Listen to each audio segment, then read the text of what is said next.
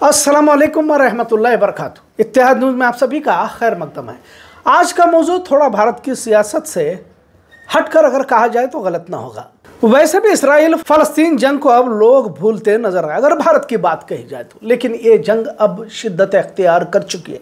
यकीनन गाजा को इसराइल ने तबाह तो बज़ाहिर किया है, पर जिस ज़मीन पर शहीद पैदा होते हैं, वहाँ इस तरह की तबाही को भी अल्लाह की आजमाइश माना जाता है। खैर इसराइल ने अब लेबनान की तरफ़ अपना रुख किया हुआ है। फलस्तीन इसराइल की इस जंग में बजाहिर इसराइल जीतते हुए तो देखा जा रहा है, पर खुद इसराइल भी इसमें तबाह हो चुका है। कल पेजर हमला इसराइल ने लेबनान पर किया, जिसमें बारह लोगों की मौत हो गई। 2800 लोग जख्मी हुए।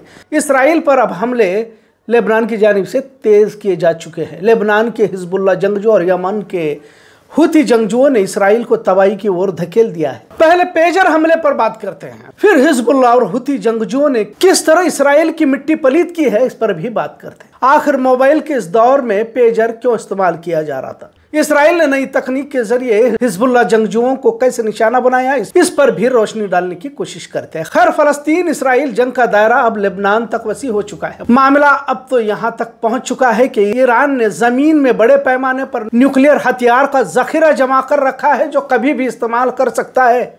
इस तरह की बातें कही जा रही है। न्यूक्लियर हथियार को लेकर न सिर्फ़ अमेरिका, बल्कि दुनिया की तमाम ताकतों को ईरान के इन हथियारों से डर लगने लगा है। बार बार अमेरिका ईरान के हथियारों को लेकर फ़िक्र का इजहार करता रहता है। पर यह भी उतना ही अहम है कि दुनिया की कोई भी ताकत अब ईरान को रोकने में नाकाम होती जा रही है। हमास के हमलों के पीछे भी ईरान ही का हाथ होने की बात कही गई। जिसके बाद कई ईरान के अहम अहदों पर फाइज डिफेंस के अफसरान को जदीद टेक्नोलॉजी के ज़रिए मार दिया गया, इनकी शहीद कर दिया। खैर, बात करते हैं पेजर अटैक की, जिसे लेकर दुनिया में फ़िलहाल चर्चा जारी है। मोबाइल आने से पहले पेजर हुआ करता था और मैसेजेस के ज़रिए पैगाम पहुँचाया करते थे। कहा यह भी जा रहा है कि मोबाइल के ज़रिए ट्रैक न किया जाए, इसके लिए हिजबुल्ला के जंगजुओं ने पेजर इस्तेमाल करना शुरू किया था। लिहाजा, जब हिजबुल्ला ने पेजर इस्तेमाल करना शुरू किया तो इसराइल की शेल कंपनी ने पेजर की बैटरी बनाना शुरू किया। बीएससी कंसल्टिंग हंगेरी मुकीम एक कंपनी थी, जो ताइवान की कंपनी ओल्ड अपोलो की ओर से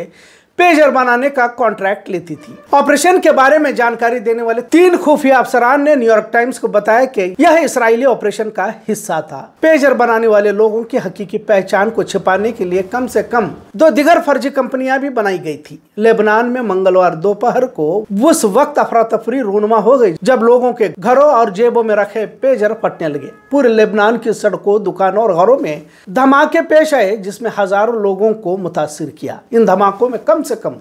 12 लोग मारे जाने की बात कही जा रही है तो 2800 से जायद शदीद जख्मी हुए हैं। इसके अगले दिन लेबनान में वॉकी टॉकी में भी अजीब तरीके से धमाके होने से 20 और लोग मारे जाने की तला हासिल हुई है। खैर, इसके बाद जो हुआ, उसमें इसराइल तकरीबन तबाह हो गया। खैर, इस खबर को सुनकर आपको ताजुब लगेगा। जिस तरह पेजर अटैक की खबर को दुनिया की मीडिया ने भरपूर कवरेज दिया ज़ाहिर मीडिया किस तरह यहूदी और इसराइल की जेर मातहत खिदमात अंजाम दे रहा है, सभी जानते हैं। पेजर अटैक के बाद हिजबुल्ला और हूती जंगजुओं ने इसराइल पर जो हमला किया है, उससे इसराइल पूरी तरह से बेनकाब हुआ है खौफजदा है।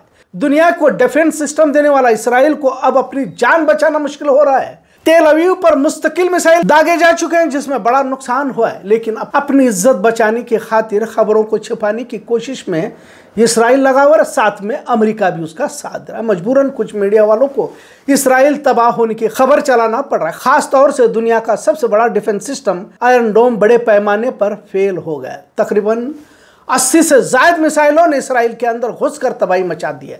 तेल अवीव के एयरपोर्ट पर मिसाइल गिरने लगे तो भगदड़ मच गई। यमन का याफा ड्रोन, जिसकी दूरी 2500 किलोमीटर बताई जा रही है, यमन के मिसाइलों ने इसराइल के आयरन के डिफेंस सिस्टम को नाकाम कर दिया और इसराइल के अहम जगहों पर हमला किया। इसराइल के डिफेंस माहिर यानी डिफेंस एक्सपर्ट यूसी मेलमोन ने इसराइल का डिफेंस सिस्टम पूरी तरह से नाकाम होने की बात कही और कहा कि इस हमले ने इसराइल का पूरा सौ फ़ीसद एयर डिफेंस को तबाह कर दिया है, नाकाम हो चुका है। इसी तरह एक और David Sling defence system fail हो गया। इसराइल ने जो दीवार आसमान के चारों तरफ़ तैयार की थी, उसे हिजबुल्ला और हुती जंगजुओं ने तबाह कर दिया है। इस तबाह होती सिस्टम को देख, खुद इसराइल के अवाम अब नेतन्याहू के खिलाफ हुई है। क्योंकि अवाम अपनों को अपने आँखों के सामने मरता नहीं देखना चाहती।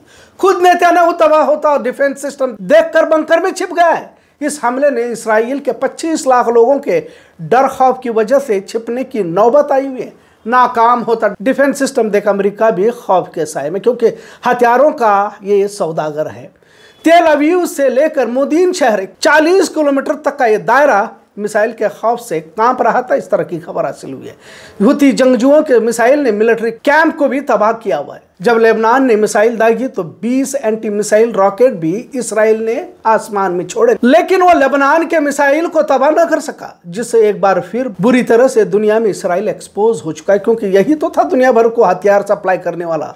यहाँ एक बात का ज़िक्र ज़रूरी समझना होगा कि फलस्तीन की अवाम, जिन्होंने अपने हज़ारों छोटे मासूम बच्चे खातिन मर्द, बुज़ुर्ग इस जंग में गंवाए। यहाँ तक जालिम इसराइल ने अस्पतालों पर, बाजारों में, स्कूल कॉलेज पर हमले किए। लेकिन जिस जगह पर, जिस ज़मीन पर शहीद पैदा होते हैं, जालिमों के सामने घुटने नहीं टेका करते, बल्कि अल्लाह से अपने बच्चों की कुर्बानी को कबूल करने की फरियाद करते हैं, दुआ करते हैं। ये था ईमानी जज्बा। और वही दूसरी ओर इसराइल के आवाम अब डर खौफ के साय में है। डर कर 25 लाख लोग जान बचाने के खातिर जहाँ भी जगह मिले छिपते देखे जा रहे हैं। मतलब हक और बातिल की लड़ाई में यकीनन बजाहिर नुकसान नज़र तो आता है, लेकिन जो कौम मौत से उतनी ही मोहब्बत करती है, जितना बातिल ज़िंदा रहने की उम्मीद करता रहता है। अब जब हालात बदल रहे हैं, अपने आप को वक्त का फिर समझने वाले इसराइल अमेरिका पर मौत का गलबा देखने को मिल रहा है। इनके चेहरे पर मौत छाई हुई है।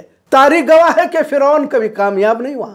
बजाहिर ऐसा लगता है शुरुआत में कि कामयाब हो रहा है। दरअसल वो अपनी तबाही की बोर बढ़ता रहता है। लिहाजा पेजर अटैक के बाद इसराइल की तबाही का ज़िक्र भले दुनिया की मीडिया न कर रही हो, पर हकीकत को बहुत देर तक छपाया भी नहीं जा सकता, ये भी सच्चाई है। और आज के इस तबसरे का मकसद भी यही था कि लोग अक्सर फलस्तीन के हालात को देखकर मायूसी का इजहार करते हैं। गाजा का ज़िक्र अफसोस के साथ करते हैं, ये भी उतना ही सच है कि शहीद ज़िंदा हुआ करते हैं।